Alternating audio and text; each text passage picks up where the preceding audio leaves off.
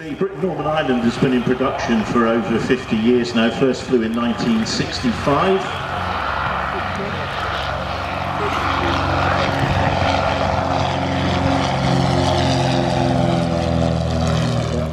Cavendish on the Isle of Wight.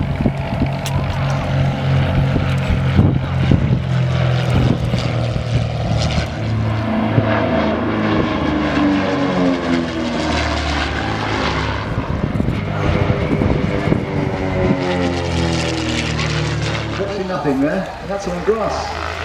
Impressive aircraft. The, the, British Armed Forces have been using it for reconnaissance. It's part of the country uh, very much at the forefront of uh, aviation technology.